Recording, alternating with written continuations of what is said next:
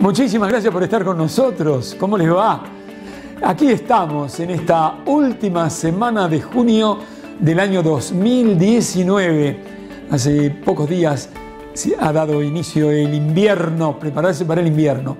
Tenemos un programa muy especial el día de hoy que tiene que ver con un reportaje que le hemos realizado al rector de la Universidad de Buenos Aires.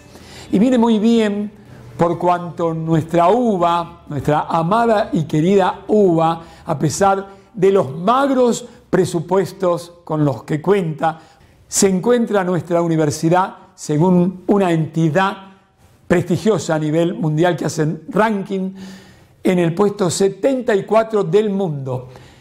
Y lo más importante tal vez es que si comparamos la ubicación de la Universidad de Buenos Aires, nuestra, de todos los argentinos, del Estado argentino, la comparamos la UBA con las universidades privadas de nuestro país, si ustedes quieren, por ejemplo, la Universidad Católica o la Universidad de San Andrés o, la Universidad de Palermo o de Belgrano, esas universidades están en el puesto 360, 380, 400. La Universidad de San Andrés, por ejemplo, en el puesto 600. Fíjense ustedes la importancia que tiene el prestigio de nuestra uva, que está dado fundamentalmente en su historia por el personal académico, por nuestros profesores amados, estudiosos, maravillosos, y ni que hablar también ahora con un rector importante por cuanto es difícil dirigir la uva, pero muy difícil, muy especialmente, como les acabo de decir, cuando el presupuesto con el que debe manejarse, de acuerdo a las directivas de este gobierno del presidente Macri, han bajado y mucho. Por ende, mis felicitaciones, mi orgullo, mi alegría, mi satisfacción, porque conozco muchísimos, miles de profesores universitarios amados. Este informe de QS, y a mí me interesa siempre, y creo que a ustedes también, saber quiénes son las empresas que determinan en el mundo si vos sos bueno, malo, muy malo, muy bueno, qué ubicación tienes en el mundo, en este caso en la formación universitaria. Esta clasificación QS, leo acá, es una clasificación mundial de universidades, es una publicación anual ¿eh? de 800 universidades públicas y privadas del mundo, ordenadas por supuesto por un criterio de jerarquía. Resulta que esta empresa QS fue desarrollada y creada por Nuncio Quaccarelli. Este es un inglés, por supuesto por el apellido ya se han enterado, hijo de un italiano y de una madre escocesa, este inglés, ¿no? Ideó esta entidad en la Escuela de Negocios de Wharton, en Pensilvania, donde estudiaba en los Estados Unidos. Él es egresado de Cambridge, creo que en economía. Y bueno, a la empresa le puso su apellido, Quaccarelli y Simmons. Bien, son expertos internacionales y La Nación intituló en estos días que la uva está en ese cuadro selecto ¿eh? entre las 100 mejores universidades del mundo. Nuestra compañera licenciada y profesora Soledad García Ruano me, nos acerca una información que entendemos es importante en cuanto a comprender la importancia de una universidad pública. Se trata del profesor Santos Boaventura de Sousa, creador del libro, autor del libro La Universidad en el siglo XXI para una reforma democrática y emancipadora de la universidad. ¿Se entiende esto, no? Hay algunos párrafos que ha seleccionado sobre este texto nuestra amiga, reitero, la licenciada y profesora Soledad García Ruano, que son importantes hacer conocer. Como por ejemplo, la primera versión de este libro fue presentada en Brasilia el 5 de abril del 2004. ¿No es así? Hace 15 años, en el ámbito del calendario oficial del debate sobre la reforma universitaria del Ministerio de Educación del Brasil, siendo ministro en ese entonces el doctor Tarso Gentro. Este es un texto de intervención en un debate que debiera ser leído y discutido como tal. Bueno, acerca de la definición de universidad, dice, el gran problema de la universidad ha sido el hecho de entender fácilmente por universidad aquello que no lo es. Esto fue posible debido a la acumulación indiscriminada de funciones atribuidas a la universidad a lo largo del siglo XX. Como estas funciones fueron adiccionadas sin articulación lógica, el mercado de la educación pudo autodexinar su producto como universidad sin asumir todas las funciones de ella.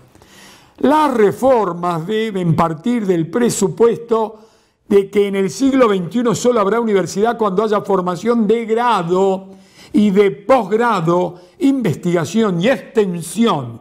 Sin cualquiera de estas habrá enseñanza superior, pero no habrá universidad. Bueno, la universidad pública es entonces, agrega Santos Boaventura de Sousa, este doctor en sociología, ¿eh? Del Derecho a la Universidad de Yale, catedrático de Sociología en la Universidad del Portugal, intelectual de reconocimiento internacional en el área de las ciencias sociales.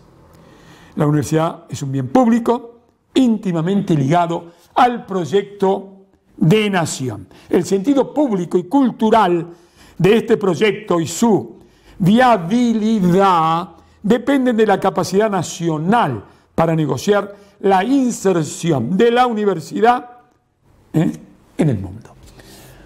Bien, ¿qué les parece amigos si recordamos, refrescamos, nos sentimos también contentos, felices, reitero aunque no guste, a pesar de que el Estado que preside Macri, el, nuestro presidente, ha disminuido notablemente el presupuesto en educación, en ciencia, en tecnología, haciendo verdaderos desastres en la formación de nuestros jóvenes, de nuestros educadores, de nuestros científicos. Sin embargo, la uva sigue adelante, sigue teniendo prestigio, qué maravilla. Y este rector, Alberto Barbieri, hay que conocerlo y reconocerlo.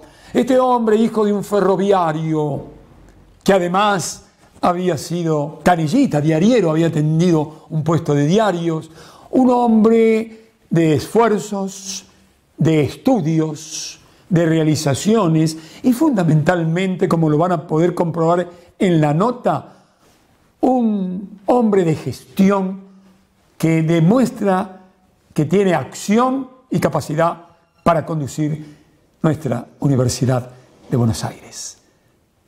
¿Nos vamos a la UBA? ¿Sí? Allá vamos. Atención país.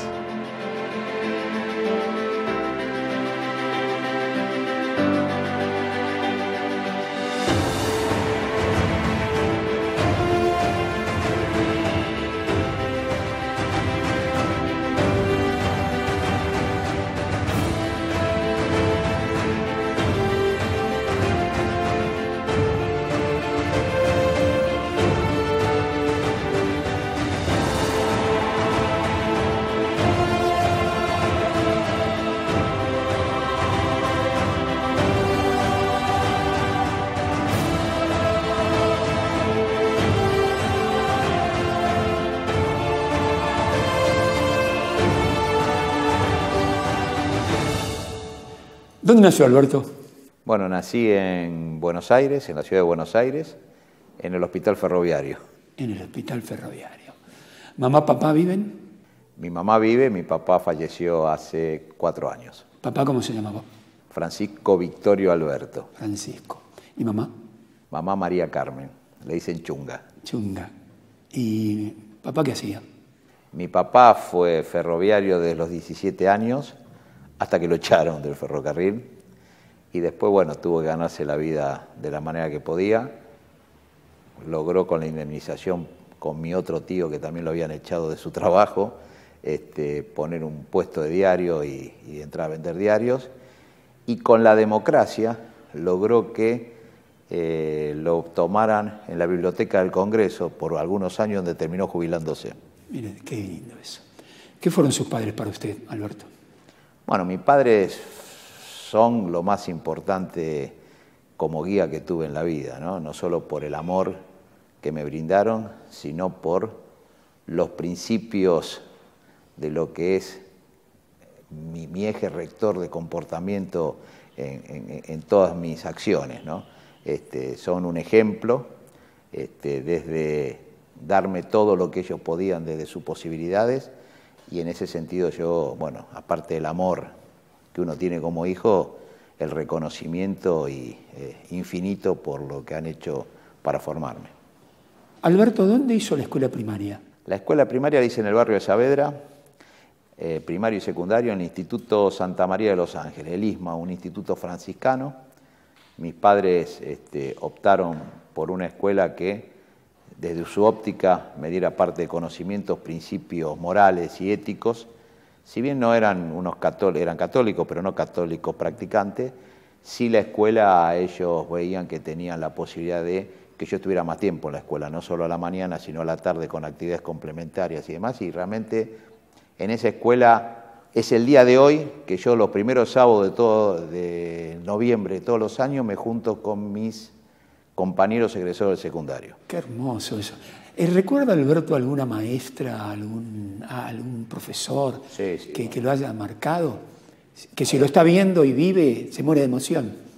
Bueno, yo sé algunos que han fallecido y me marcaron, que los voy a decir, pero voy a decir algunos que sé que viven y que la maestra de cuarto grado, la señorita González, que tuve la suerte de verla cuando la escuela cumplió 50 años y nos invitaron y me pidieron que hablara. En ese momento era decano y vicerrector yo, y no podía creer que yo fuera el vicerrector de la Universidad de Buenos Aires y decano de Ciencias Económicas. Y le dije, bueno, algo de culpa tiene usted de todo esto. Así que, no, la verdad que una alegría en ella, el recuerdo de muchas otras maestras, de todo el primario y del secundario, sí, hay, si bien no está entre nosotros, una profesora, la profesora Marios, que era de historia. A mí la historia siempre me encantó, me fascinó y tanto ella como el profesor Sacuda, que lamentablemente no está con nosotros, este, me, gustaba, la materia y me gustaba cómo la daban.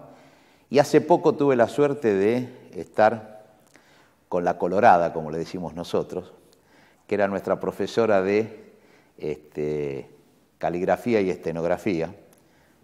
Estoy hablando del siglo pasado para los, para los chicos, ¿no? Pero estudiábamos eso, pero más allá de eso también ella nos llevaba a los retiros espirituales, este, que más que retiros espirituales eran para trabajar entre nosotros, conocernos. Y, tuvimos la suerte con mis compañeros, que le digo que nos juntamos, podernos juntar con ella, tiene 85 años, todavía está activa, y bueno, y también me decía que este, me admiraba viéndolo, viéndome como rector, que sus hijos eran agresores en la Universidad de Buenos Aires, pero que creo que me dijo que no estaban entre los que me votaban. Entonces dije, bueno, pero el cariño sigue intacto. Ya vamos a hablar de eso más adelante. ¿Y cómo era ese niño? ¿Cómo era Alberto en el cuarto grado? ¿Cómo, era, cómo vivía? ¿En qué soñaba? Eh, ¿Pensaba, tal vez, que podría en la vida ser alguien, entre comillas, tan importante para la sociedad en materia de educación como usted? No, por supuesto que en el primario eso, creo que ningún niño puede estar pensando. ¿Y en qué pensaba? yo ni siquiera sabía que existía la Universidad de Buenos Aires, creo, en el primario, voy a decirlo con todas las letras. No, pensaba en, como cualquier chico, en divertirme, en, tratar de en el colegio cumplir, porque mis padres me decían que tenía que cumplir. Este, esta es la realidad. Eh, de divertirme, jugar a la pelota, estar con mis amigos y estar en los Boy Scouts, porque a mí me encantaba ah, ir de campamento con los Boy Scouts, una actividad que mi padre tuvo de chico, desde los nueve años, que me, sin bien, me, inscribió en los Boy Scouts, pero no en los Boy Scouts católicos, sino en los Boy Scouts laicos.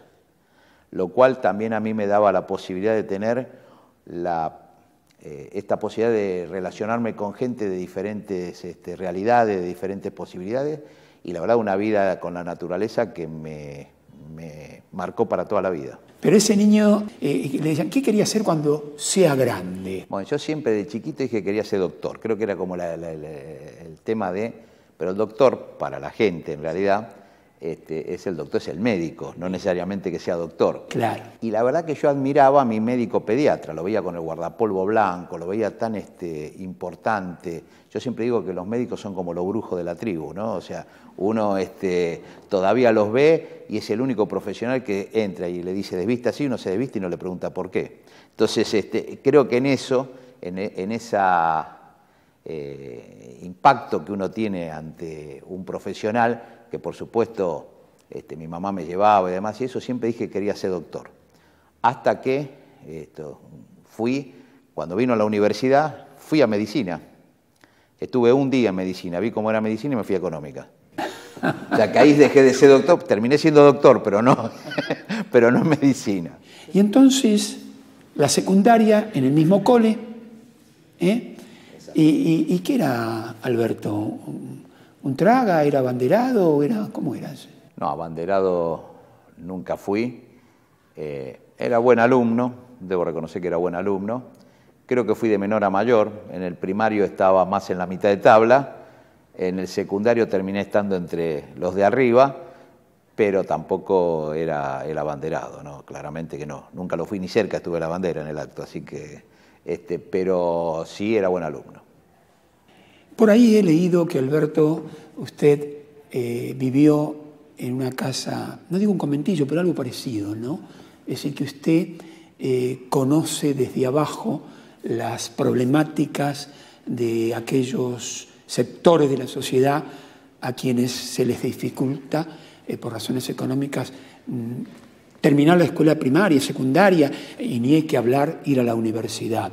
Usted vivió eso, eh, en esos sectores humildes, ¿no es así?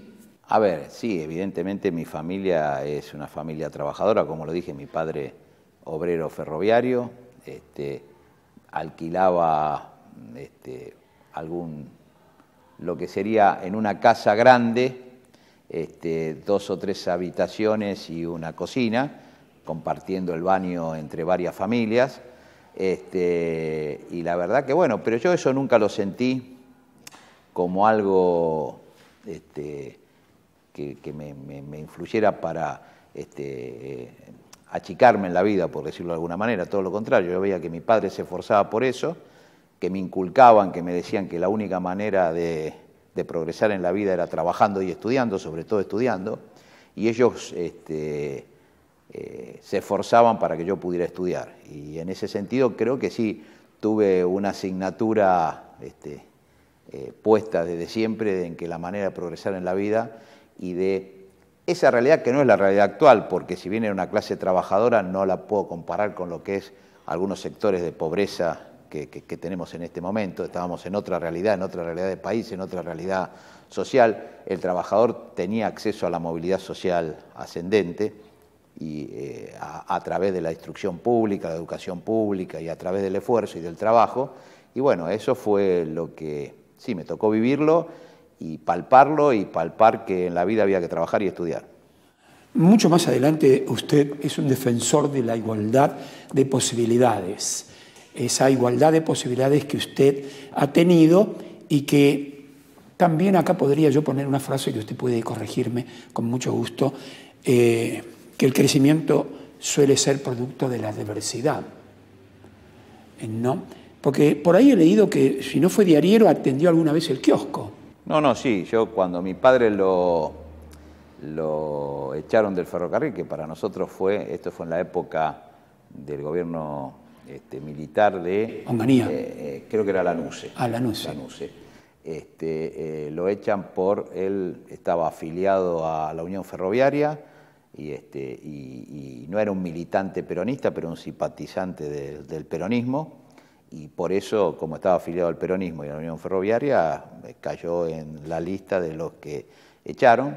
Espantoso, ¿no? Qué triste. Eh, es parte de lo lamentable que vivió nuestro país en lo que eran los regímenes de facto y lo que era vivido en carne propia, ¿no? Porque a veces desde la academia uno puede ver lo que es este, la persecución, lo que es la falta de libertad, pero que directamente a un trabajador se lo eche porque estaba enrolado dentro de un movimiento, un pensamiento, demuestra lo que eran los tiempos que se tocaba vivir en ese momento. Bueno, ante esa realidad, mi padre con los pocos ahorros que tenía y la indemnización, que no era mucha, logró, me acuerdo primero un taxi, pero era muy malo manejando, entonces le dijimos, trata de que no te mates en el taxi, ¿no?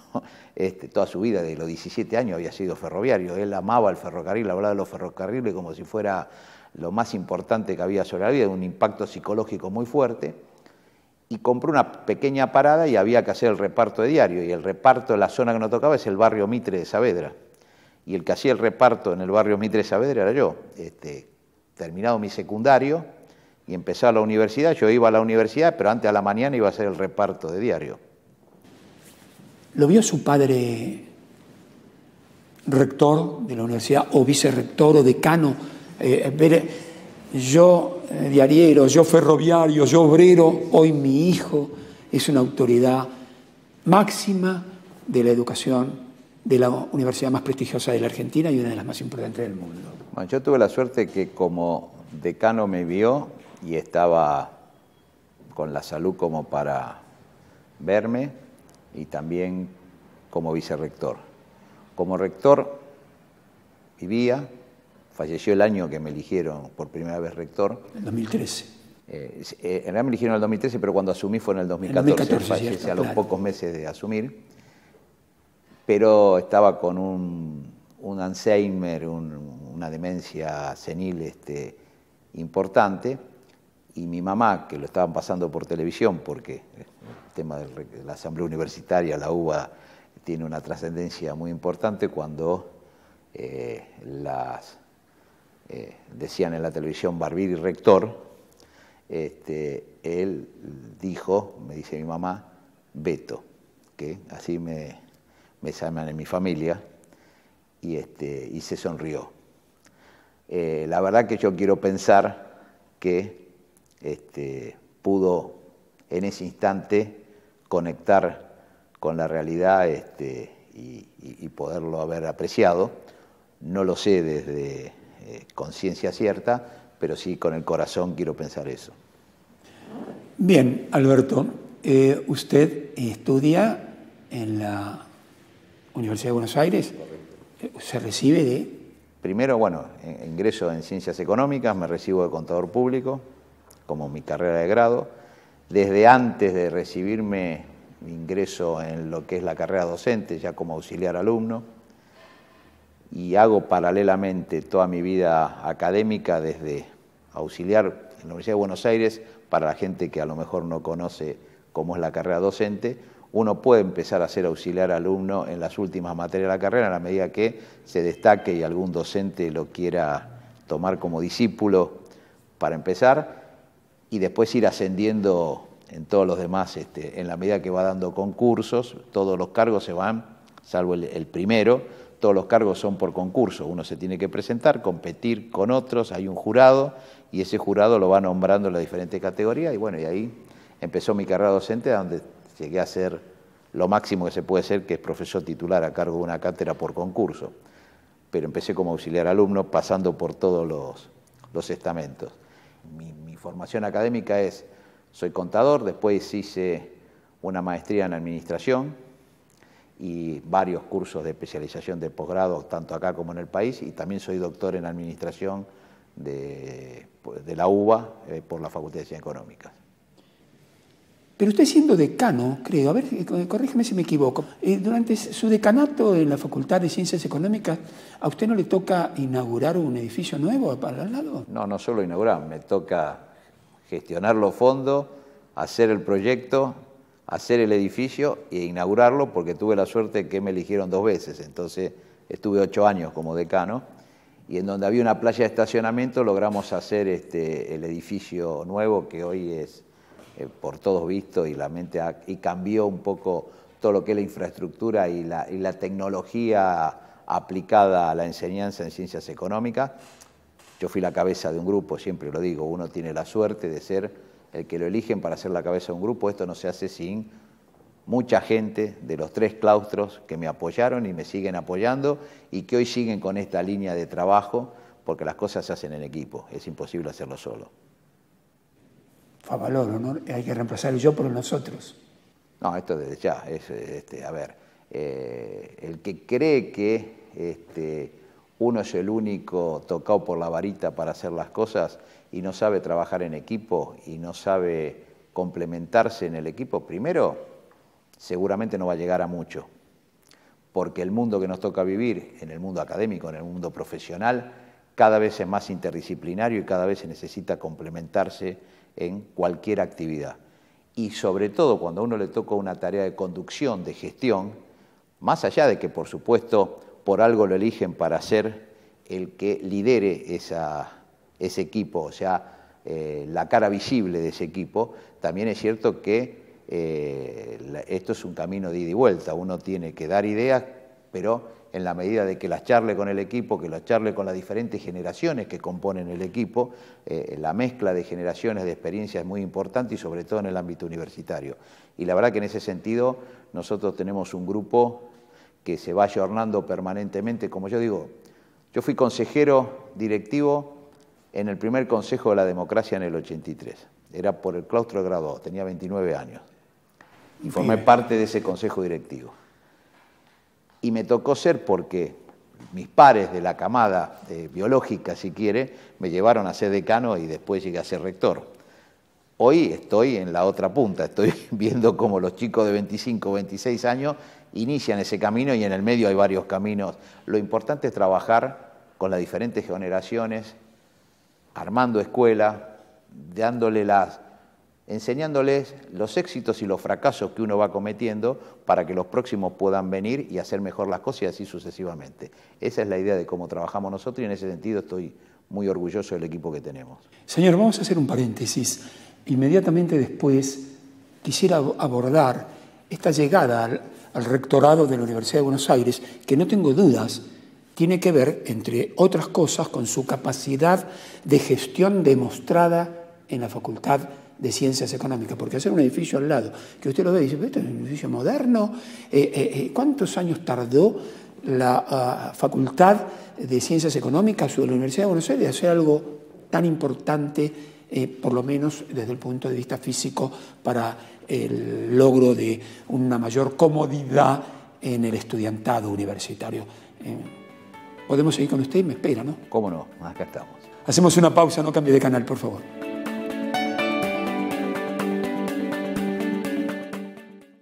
Transportel Patagónica, eficiencia, esfuerzo y avanzada tecnología para apuntalar el desarrollo energético de Argentina. OTEC, soluciones integrales para el transporte y almacenamiento de aguas.